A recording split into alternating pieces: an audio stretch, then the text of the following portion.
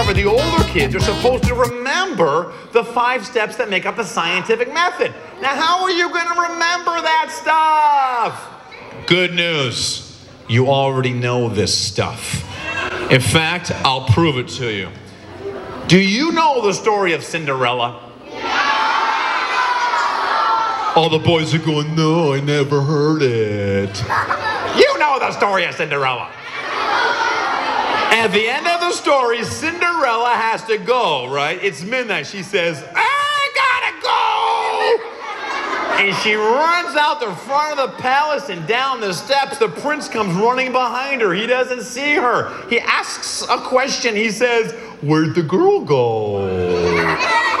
Where'd the girl go? He doesn't know the answer to the question that he has asked. So what happens? He makes a guess. He looks down and sees a shoe and goes, I think the girl lost her shoe.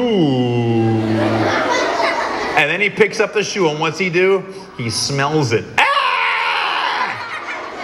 Drives around town smelling people's feet. Ah! He matches the stinky shoe with the stinky foot.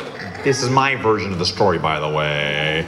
He matches the stinky shoe with the stinky foot after observing the results, and he finally answers the question Where'd the girl go? Well, she was going to Walmart to buy some odor eaters because her feet are stinky.